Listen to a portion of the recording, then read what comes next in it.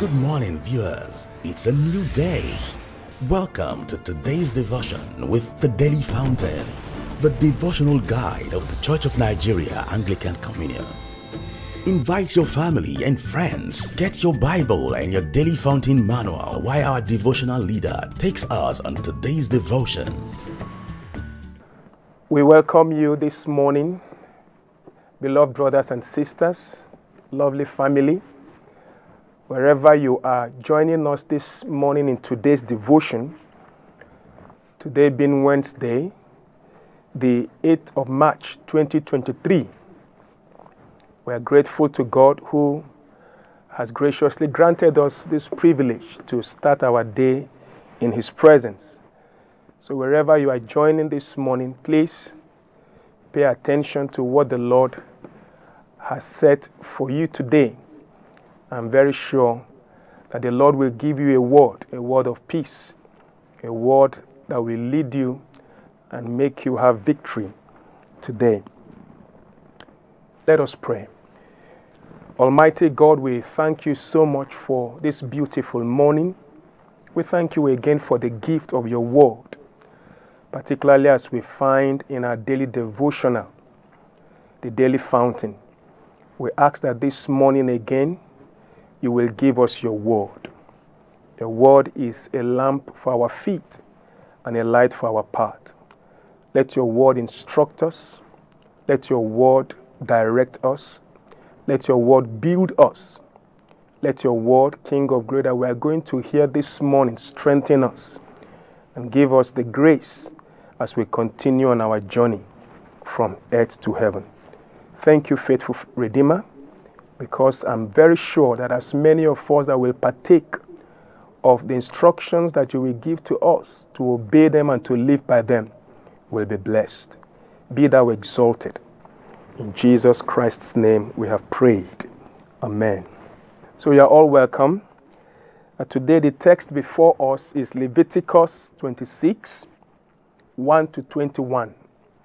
Leviticus 26, 1 to 21 and the topic is wholehearted devotion towards God. Wholehearted devotion towards God. So join me as you pick your Bibles and let's read together the text before us Leviticus 26 1 to 21.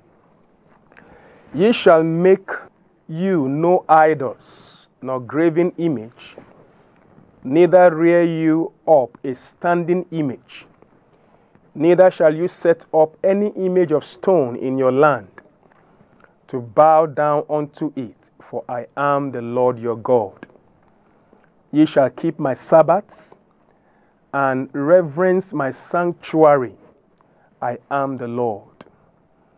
If you walk in my statutes and keep my commandments and do them, then I will give you rain in due season and the land shall yield her increase, and the trees of the field shall yield their fruit. And your threshing shall reach unto the vintage, and the vintage shall reach unto the sowing time. And ye shall eat your bread to the full, and dwell in your land safely. And I will give peace in the land, and ye shall lie down and none shall make you afraid. And I will rid evil beasts out of the land, neither shall the sword go through your land.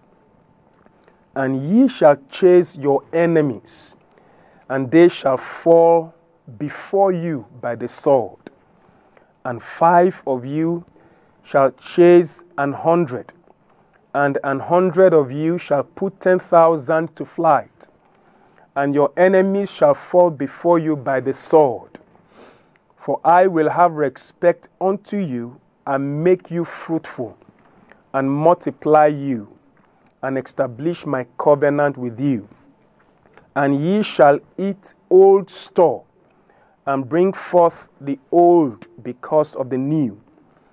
And I will set my tabernacle among you, and my soul shall not abhor you and I will walk among you and will be your God, and ye shall be my people.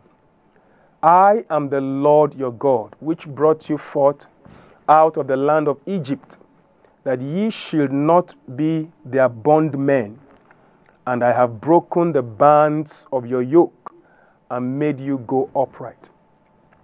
But if ye will not hearken unto me, and will not do all these commandments, and if ye shall despise my statutes, or if your soul abhor my judgments, so that ye will not do all my commandments, but that ye break my covenant, I also will do this unto you. I will even appoint over you terror, consumption, and the burning urge that shall consume the eyes and cause sorrow of heart. And ye shall sow your seed in vain, for your enemies shall eat it. And I will set my face against you, and ye shall be slain before your enemies. They that hate you shall reign over you, and ye shall flee when none pursueth you. And if ye will not yet for all this hearken unto me, then I will punish you seven times more for your sins. And I will break the pride of your power, and I will make your heaven as iron and your earth as brass. And your strength shall be spent in vain, for your land shall not yield her increase neither shall the trees of the land yield their fruits. And if ye walk contrary unto me, and will not hearken unto me, I will bring seven times more plagues upon you according to your sins. This is the word of the Lord. As we've seen in Leviticus chapter 26, 1 to 21. And what we are considering this morning is for you and I, children of God, to have a wholehearted devotion towards God. The passage we just read, if you had followed critically, you'll be able to discern that it has about three parts. The first part is um, the warning against idolatry. How God, in verses 1 and 2, announced to his children that he hates idolatry. God hates idolatry. Then, when we go from verses 3 to about 13 thereabout, yes, to verse 13, we see God saying clearly that there is a reward, there are benefits if we obey Him. And from verse 14 to the last verse we read in verse 21, we see God again saying that there, there is a judgment, there's punishment for disobedience, for devoting ourselves to idols. God punishes the sin of idolatry. So, for me this morning, idols in a man's life or heart are hindrances to the wholehearted devotion one can have towards God. When there is an idol in your heart that is occupying the space God ought to occupy, then it hinders you from having a wholehearted commitment to God. What is an idol? An idol is anything or anyone that takes the place of God in your heart. An idol can be a physical object. For example, a carved image. Uh, people can mold images, even up till date. People can mold images, whether portable or large images, and they are bowing to it and they are carrying it about. It's, the social media can be an idol to some people when we are glued to our gadgets, maybe the television or the phone, the iPad, and you give more attention, more time to it so much that it eats your time of fellowship and intimacy with God. For some people, money, the pursuit of money, has become their idol.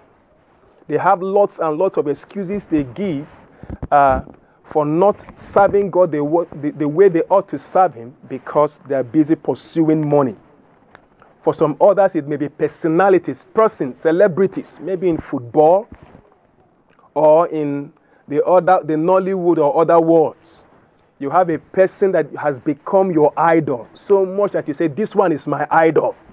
And it's taking the place of God in your heart. You are following the person, you are knowing its transfers, you are knowing its moves, and you do not pay close attention to your walk with God. In our day to day living, other things we give attention to could also be idols in our lives. To some people, it might even be their education, education career, education pursuit.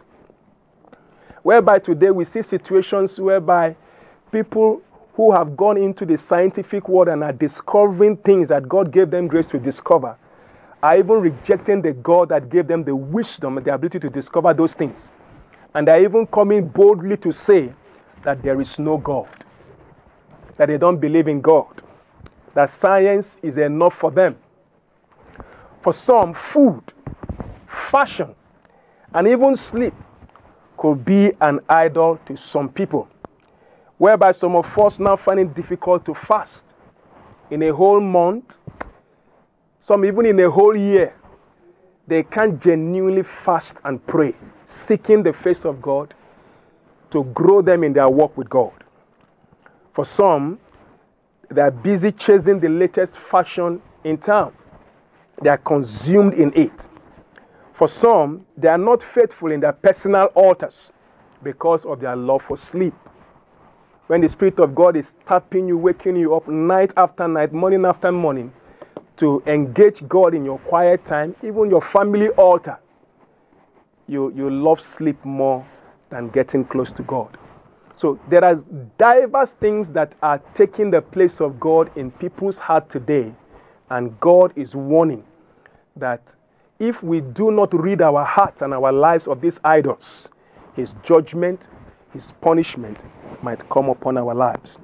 That is why we are bringing the word of God to you this morning. That there's a need for you to check your heart. Where are you in your walk with God? What are those things in your life that are contesting the love and the place of God in your heart, in your day to day walk with God? What are those things denying you intimate fellowship and relationship with your God? You know those things. Why? Because the Spirit of the Lord bears witness to those things in your life. You can't say that you are not um, unaware of those issues God's Spirit keep bringing into your life. You must check your life. God hates idolatry and warns us of the evil we bring on ourselves if we cherish any idol in our hearts and lives. Now, if we look at the passage again we read, verse 1 clearly shows us that there are different levels of idolatry. That verse 1 says, You shall make you no idols, nor graven image, neither rear you up a standing image, neither shall you set up an image of stone in your land to bow down unto it. For I am the Lord your God. There are personal idols. We see that in the first statement there says, You shall make you no idols nor graven image for yourselves. There are family idols, there are communal idols, and there are national and even international idols uh, that people and nations set aside. We have examples in scriptures when King Nebuchadnezzar had to raise a statue and commanded everyone to bow down to it. So there are different levels of idolatry people engage themselves in. If there is anyone you are involved in, whether personally or family or in your community or even in your land, God is speaking to you personally this morning and particularly this time to make sure that you free yourself from every form of idolatry so that you can serve your God with the whole of your heart. Furthermore, we see enumerated for us by God Himself the blessings and rewards for anyone or people who are wholeheartedly devoted to Him. If you now read the second part of uh, our reading this morning from verses 3 to 13, God took time to mention certain blessings, specific blessings specific favors that He releases unto those who are free from idolatry, who have taken Him to be their God, and who are serving Him wholeheartedly. If you look at verse 4, for instance, God was talking about lasting and enduring fruitfulness. Verse 5 speaks of safety and protection. Okay? Even in a time of evil, the time of so many forms of calamity, God promises safety and protection for his children. Verse 6 talks about peace, peace of mind, peace in your home, peace in the land. Verse 7 talks of victory over your enemies because God Himself will take over your battle because your enemy becomes God's enemy. But woe betides me or woe betides you if God now becomes my enemy. Who will fight for me? If I join my hands with any idol, if I forsake God and God withdraws himself from me, who will then fight for me? But God's promises is that when we make him our God, wholly with the whole of our hearts, he will take over the battles of our lives. Verse 8 talks of divine strength for engaging spiritual warfare. God Himself gives us strength. Verse 9 talks of favor with God, such favor that distinguishes you from other people. Like what the Bible said about Noah. In the time when God came to destroy the whole world with flood, the Bible said, And this man Noah found favor with God, and he was spared along with his family. Verses 11 and 12 talks about God's ever abiding presence. These are some of the blessings, some of the benefits, some of the rewards that God releases upon our lives when we give ourselves to Him. On the other hand, God also reveals the pain and punishment that awaits those who allows other things to share his glory in their lives.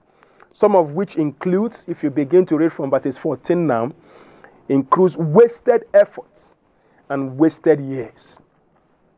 Terror, God said He will release terror upon those people. Diseases, sicknesses, defeat in battles of life, stagnation, struggles, disappointments, disgrace. All of this happens because when a man is idolatrous, he becomes an enemy of God. God Himself will be against that person and actually withdraws his covering or hedge from your life.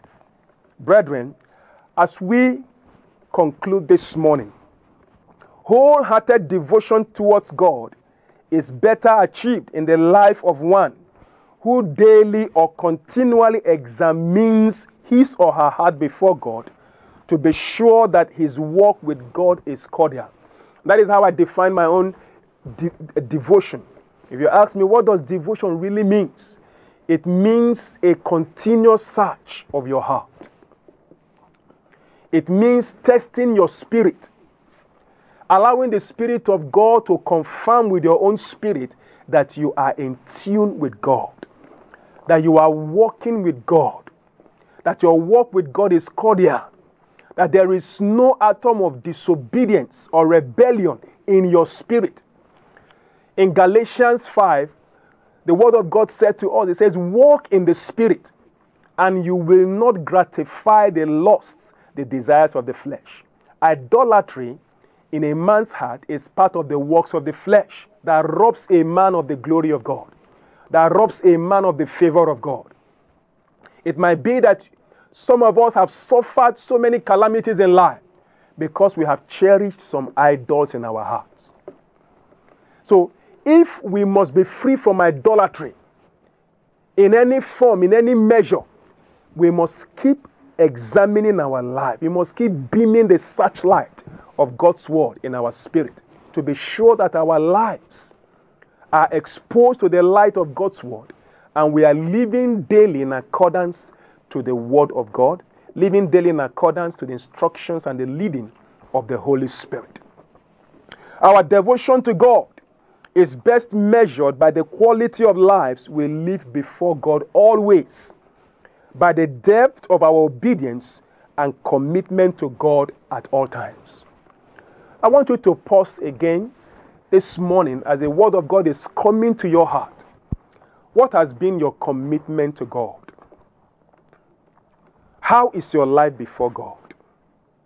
How honest are you? Are you living a life that is dishonest before God?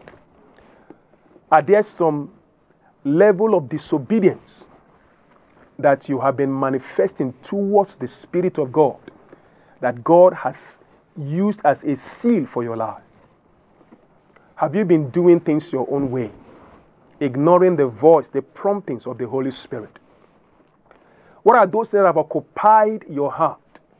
And it's as if you are paying more attention to them and you are losing your spiritual favor. This morning, God is calling you back. God is calling me back, calling us back as believers to our walk with Him, to a wholehearted devotion towards Him, to a devotion that is not, that is, that is free from every form of uh, distractions, every form of abuse, but that we are wholly devoted to God. God, on His own part, is committed. He is devoted to our total well being and our all round fruitfulness and success in life. God is committed to you. He is actually is the one that has given you life. He's the one that has brought you thus far. The Bible said that because of the love He had for us, He gave His Son Jesus Christ to die for us. And He went on to say that if He could give us His only Son, is there anything else that He will not do for us? And when you read the scriptures in Jeremiah 29, verse 11, God says, I know the thoughts I'm thinking towards you. They are thoughts of good and not of evil, to give you a future to bring you to an expected end. Beloved brothers and sisters, fathers and mothers, brothers, wherever you are, I want to say to you that God is committed to your marriage. God is committed to your well being, your total well being, spirit, soul, and body. God is committed to your financial bliss. God is committed to your growth in ministry, to your growth in your service in the kingdom of God. He's committed to you. But one thing is the matter is your life free from all and any form of idolatry? Or are there some things that are still occupying the place that God should occupy in your life? If you look at Jeremiah 31, verse 3, the scripture tells us that this love that God has for us is an everlasting love.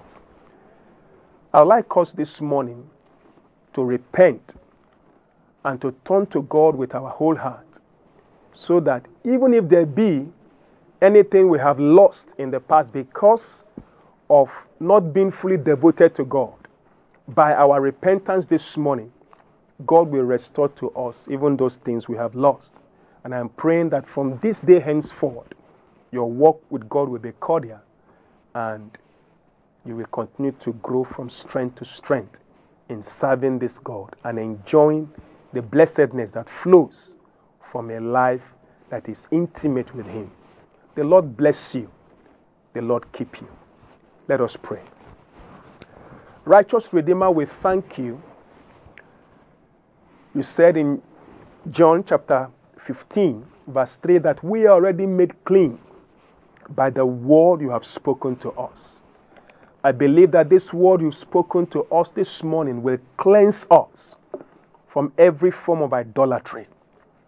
The power of your word will break the stranglehold of any form of idolatry in our hearts, no matter how firm their grip has been over our lives.